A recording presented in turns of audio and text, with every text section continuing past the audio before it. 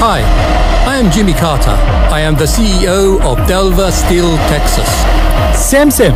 I am also CEO. Oh, wonderful. Which one?